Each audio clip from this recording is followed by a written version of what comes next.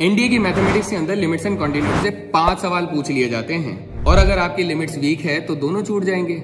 नहीं नहीं। आपको सबसे पहले लिमिट की डेफिनेशन को समझना है कि कब ये एग्जिस्ट करती है और कब नहीं करती दो, आपको ये बेसिक लिमिट थ्योरम्स आने चाहिए और इनके ऊपर कम से कम 20-20 सवाल प्रैक्टिस कर लेना। तीन, आपको एल हॉपिटस रूल बहुत अच्छे से लगाना आना चाहिए और इस पे भी बहुत सारे सवाल प्रैक्टिस करने हैं।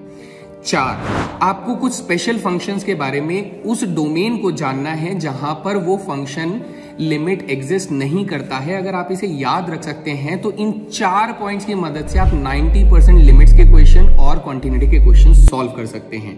तो हो गया ना problem solve best of luck